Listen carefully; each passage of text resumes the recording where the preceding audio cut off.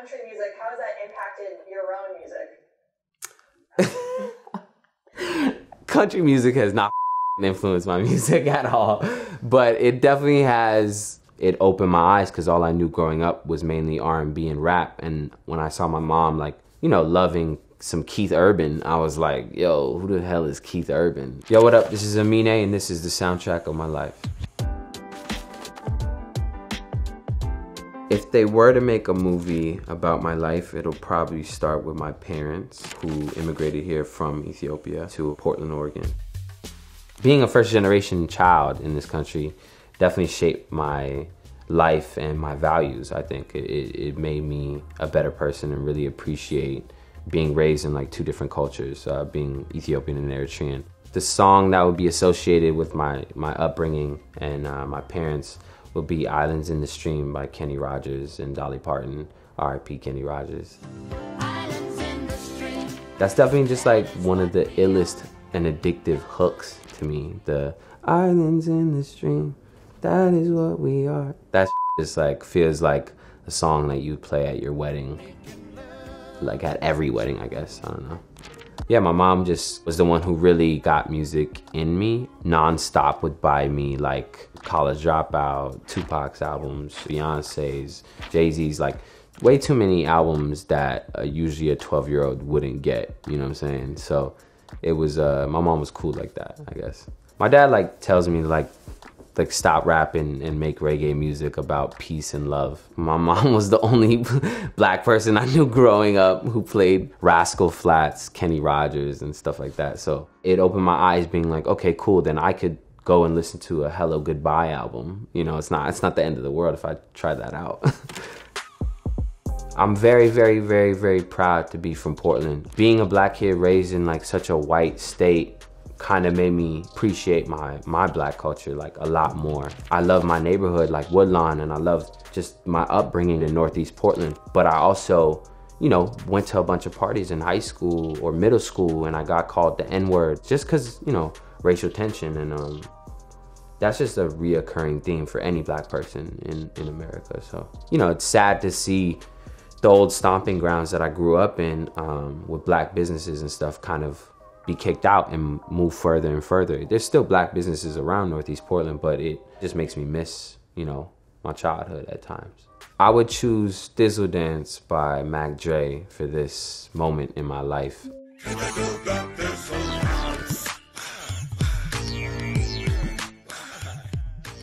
I have this nostalgia of like everybody with a stank face in a house party, really sweaty, and everybody's listening to Mac Dre and just trying to get off their like illest dance. And I just, I remember being like a 13 year old kid trying to thizzle, and like it was just funny. It was just really, really funny. It was like a dance song that wasn't corny at all. It was like the first coolest dance song I heard growing up, you know what I mean? Bay Area music kind of really influenced Portland sound as well. Like we had to take from a city that had a lot more African Americans because Oregon didn't really have a too good of a history for black people, you know?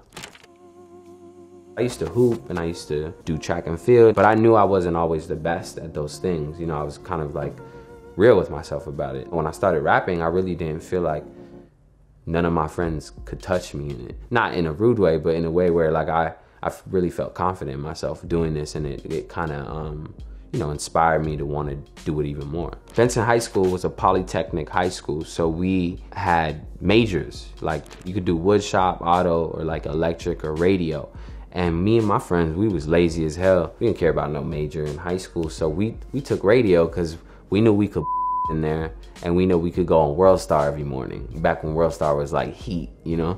Still is though. Shout out to World Star. But uh, after school, we just started taking like our favorite beats. We didn't know how to engineer. We would just like press record and then right before my verse would end, like my friend would walk up to the mic. I used to do these 6 a.m. workouts in basketball, like crazy drills and stuff, like crazy training. And Ice Cream Paint Job was like the remix by Lil Wayne was like I'm all over this ice cream beat like sprinkles. Why thank you? If you's a hater, I'm eating. You's a waiter. Was like the song I replayed every morning before I went to school. Like I nonstop played it on my iPod. Wayne had this run of just like doing crazy remixes. and everyone just at that time was so hyped for them. So when he did Ice Cream Paint Job, he he like really like murdered it. Young Money served in a big shot, Chevy two. Like when he started doing that, like I was just obsessed with Wayne. I still am. I love like I'm a huge fan of Wayne. Uh, definitely in my top five. It taught me how to like, you know, you gotta entertain the people listening as well. When I made Caroline at first, it was just like a regular song that I would make. I made like 30 songs in a span a couple months in college. We just kind of picked it off the whim and we didn't really expect much. We were just hyped to get a song with 100,000 plays. You know, like that was enough for us. The surreal moment for me was when I first heard the song on the radio. It kind of just like changed my perspective as to like, oh, okay, damn, like I have to like I have to really pursue this artist thing because this is like a this is real now. I didn't know it, it would work out this way. You know what I mean? Um, I try to just have like the lowest expectations so I never get disappointed. I'm definitely proud of where we are and how far we've gotten in my career. I would associate that moment for me with So Ghetto by Jay-Z just cause that song has this like crazy cockiness to it. Furthermore, ma, we tote guns to the Grammys, pop bottles on the White House lawn. Guess I'm just the same old Shawn. That's kind of how I felt, you know, at, at that moment. You know, like I was like, oh, shit, like I'm good. Other genres don't really kind of live the same lifestyle as a hip hop artist did growing up. You know what I mean? Um, I don't think me and like a country singer had the kind of the same background, or me and like a blues singer. I don't know. It, it just is. It's always different. Um, so Ghetto by Jay Z just embodies this sort of like arrogance, like a good arrogance though, not not one that pisses people off, but one that really is deserving of of that artist. So my dream one day is to meet with Hov and talk to him just about you know, just advice. You know, he's he's been in this game for years. So to meet Jay Z would be would be really cool. That's like one of the few people I, I haven't really met yet. Flossing and, and showing off in hip hop is important. I think it's a beautiful thing. I actually don't look down upon it at all. It's it's kind of what makes it fun. Like I love going on my timeline and seeing a rapper with his new chain smiling because I know he's you know that's success for him and that makes him happy. So I'm happy for you as well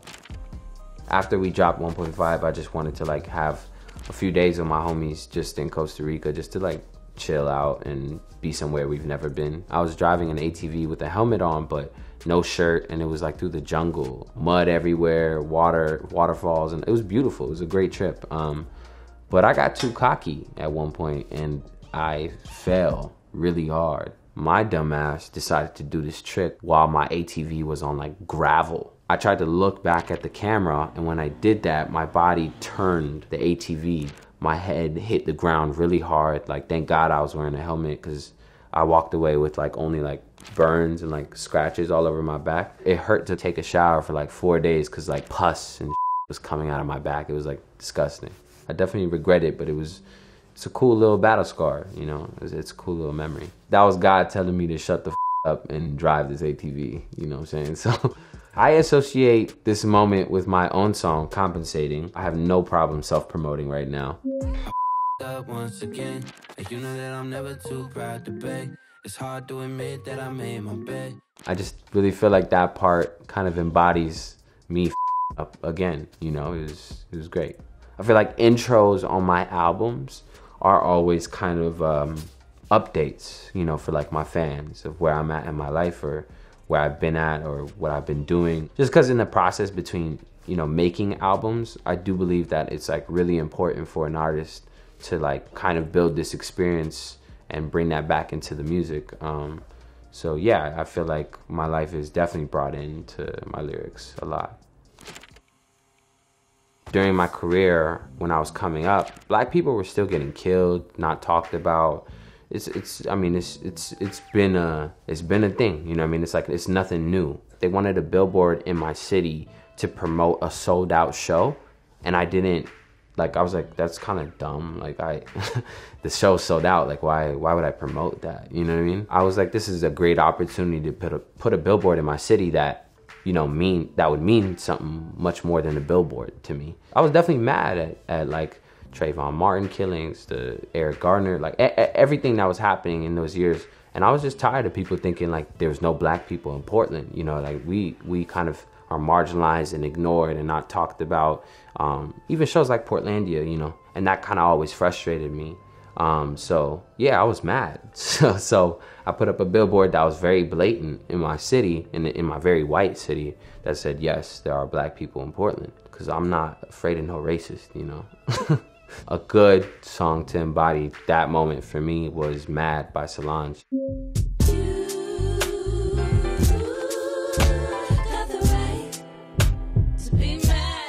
People try and pin a black person as super angry or violent whenever they just get mad. Our anger versus, you know, a white person's anger is much different or perceived differently. I do believe that Mad was a song that kind of like embodied that feeling in a beautiful way. She's singing so beautifully on a song that's talking about being mad, you know what I mean? So that's literally all the billboard was. It was just the truth. That year when I performed at Lolla was just a big deal for me just because it was just like a really hype moment to drop your first album and then perform in front of the biggest crowd you've ever performed for. That day kind of felt crazy because we performed at Lolla at a 2 p.m. like day slot. They expected, I think, like maybe 3,000 people to show up to my set, but it was like filled with like 10,000 plus to bring that many people out during the day. And right after that performance, that's the first time I met Malia Obama. So that was like cool. Like it was just like weird. I was performing at Lolla, like my biggest moment, and I looked to the right and I see like Malia and her friends like dancing to my set. After that, like we did like a after show thing. That's when I looked on my Instagram and I saw like Beyonce had like posted her dancing to my song. I was like really confused as to like why God was being this nice to me. That whole day was just crazy. And the first song that I came out to for that set at Lolla was Yellow. I was down, yeah. Now I'm better. Stunting with my dogs like my first name Cruella. At that point, people had only heard that song for like three days. I came out, and as soon as that beat dropped, everybody was jumping and I'll never like forget that moment. It was it was definitely fire. It was cool. The start of Yellow just kind of is perfect because a lot of people think the beat is about to drop on that first line that I say, and then it doesn't. I was down, yeah.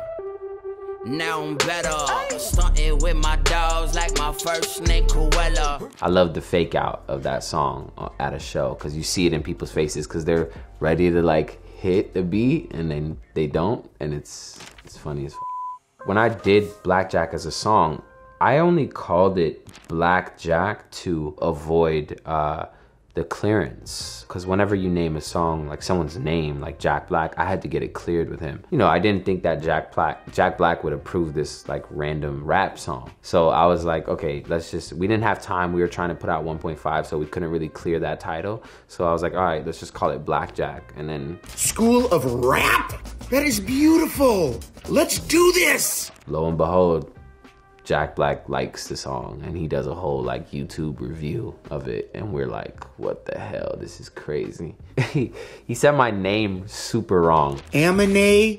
Are you kidding me? Completely okay. I'm okay with it. It's all good. Like I lo- he's just it was just such a genuine and sweet compliment. It felt really good just because the person I was kind of um, dedicating this music video to noticed it and, and loved it and was really hype about it and wanted to make a School of Rap like movie. And School of Rock was just such a such a movie that all millennials kind of like you know it, it was their upbringing. It was like something we all watched and, and remember. And when I was like 23, um, I started smoking more and or just in general and I was just really high and I was just like, man, Jack Black's such a nice guy.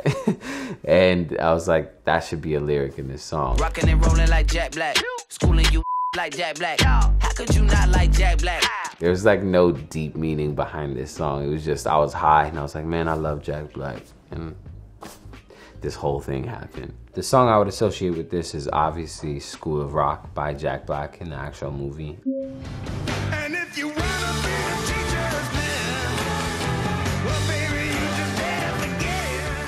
it's like the the happy ending of this whole movie. So I remember that song a lot just because I was a kid, like 12 years old in the theater, watching like other kids like my age, you know, doing this. I actually don't know if I was 12 though. Like, I don't, I don't know what year that came out.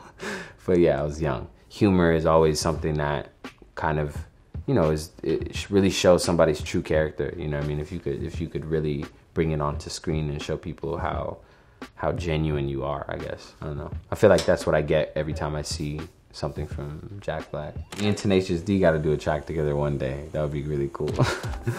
I feel like what makes a good movie soundtrack is when whoever's picking the songs for the soundtrack isn't picking it based on hype or what's gonna make people go crazy or what's gonna make the soundtrack successful, but better yet, like what music really complements the character's like story or or the movie itself.